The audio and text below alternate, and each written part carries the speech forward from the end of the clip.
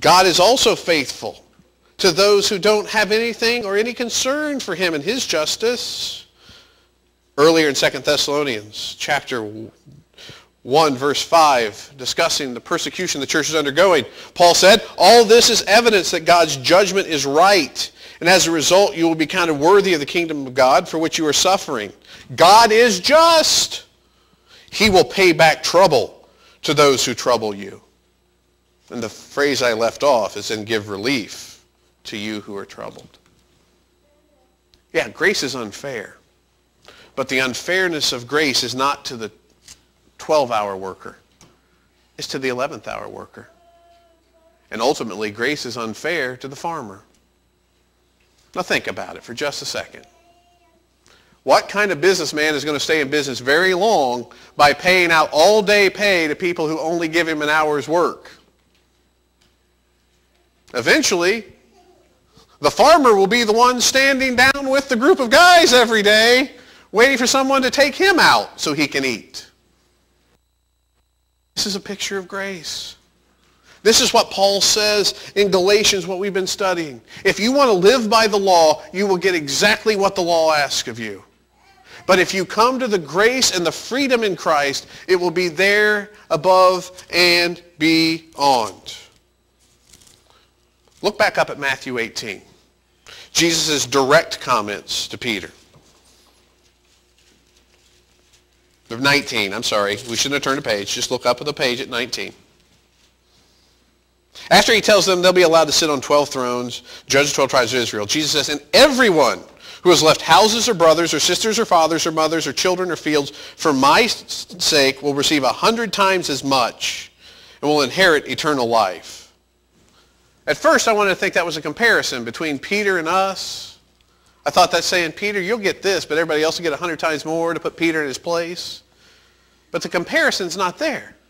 Jesus says it this way, if someone will come and do the work in my kingdom, whatever they've sacrificed for it, I will pay them back a hundred times. Anybody know what the percentage of that is right off the top of your head? 10,000%. Now let me ask you right now, if Wall Street tomorrow were to announce that every dollar you invested, you would receive back $100 and 10,000%, how many of you would change the American economy immediately by selling anything you could and put it in the stock market? And Jesus says, if you come after me, I will give you back 10,000%. God is just, but God is also merciful and gracious. Which leads us to the point of the sermon where we have one more thing to do. If nothing else, we'll have to ask the question, so what? So what? So what will you tell people I said this morning? So what will you think of whether it was a good sermon? So what did you write down as your conversation? So what did you take away? Or will we ask the deeper so question? So what does this message mean for us? Well, first of all, I think what it means to those of us who wish to be the landowner in the story, I'd encourage you to read Matthew 21, verses 33 through 46, where Jesus tells a parable, again, of a landowner and his fields, where the servants think they'll just take it by force without concern of following the king. And be reminded that the truth of this story is we get to work in the field not because we've earned it, but because we were called and chosen for it. Our own righteousness leaves us as these day laborers who are in need of someone to meet our needs. And the one who has met our need is Jesus Christ. Which secondly leads us to this. What of us who've already responded to God's offer? Consider these words written by Martyn Lloyd-Jones. Grace is the Christian offer, the Christian possibility. Our whole trouble as Christians is surely this, that we fail to realize it. We're ever reducing the gospel, making something small out of it, something that we do, our practice of religion. The tragedy is that we think of our own selves and our busyness and our own activity. instead of realizing that there is the wonderful possibility of receiving Christ's fullness and more and more of it. Or as the King James says in John 1.16, grace for, or grace upon grace that springs up into everlasting life, John 10.10. 10.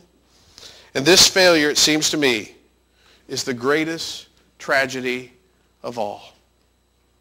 Instead of trusting God's grace, relying on God's grace, and serving out of God's grace, we get caught in the idea that what we do demands of God that he pay us our fair grace. And the reality is that's the mentality of the 12-hour worker. And you'll get exactly what you deserve for what you put in and nothing more. The one who says at the end, just come on and I'll take care of you. And we say that I'll go with you is the one who Jesus says, you're going to get rewarded in ways you never imagined. How would this change the way we give of our time and our treasures and our talents while we're working in the field? If we began to understand it's not just about eye for an eye and tooth for a tooth with God. How would we rest more confidently in the promise that we're serving the one that when asked to give us daily bread is, like is likely to give us an actual three-course or seven-course meal. How would this change the way that as Rachel comes and sings this morning, we ask the questions in the light of God's grace, how may we be challenged much more to be motivated to give back to God's kingdom? Rachel's going to come and sing as our invitation song this morning, the song Thank You by Ray Boltz. I want to encourage the Christian this morning that you may need to change the words when you sing them. Instead of this being a word of invitation to serve the kingdom, maybe you have to start by singing it this way. Thank you for giving to me, Lord. Because of what you have given me, I am a life that is changed. Maybe we need to start with gratitude. Maybe if we're already grateful for what God has done, then we need to sing along with her the same words that we hope to hear of us. As we think of those who have come before us and done their work in the fields of God and say, thank you for giving to the Lord because of what you've done. We are a life that is changed. Maybe a time to be thankful and grateful for the people who've already influenced your life. It may be a question of, is there anyone who would ever tell me this when I go to heaven? If, however, you have never heard the message of Jesus Christ, I would encourage you this morning to make this the day that you say, thank you, Lord. Come to understand the gift of the landowner is gracious. And make this the day that your life is changed.